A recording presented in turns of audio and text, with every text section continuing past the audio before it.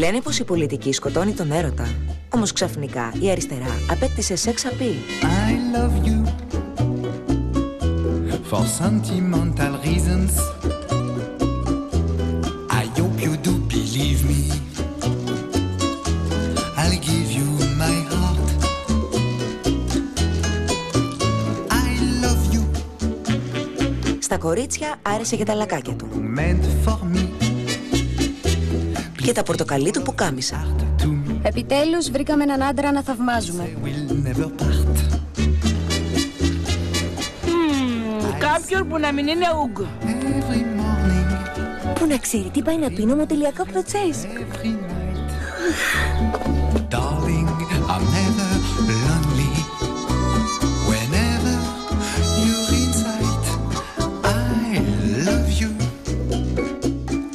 Οι γκέι τον συμπάθησαν γιατί δεν είναι κομπλεξικός.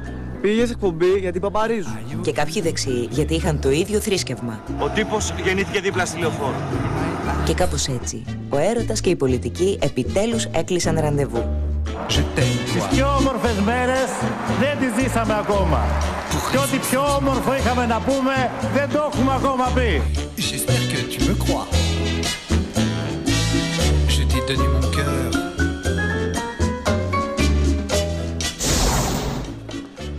Τι λέτε ρε παιδιά και πού θα τον βρω; Πρόβλημά σου. Και τι θα τον ρωτήσω; Πρόβλημά σου.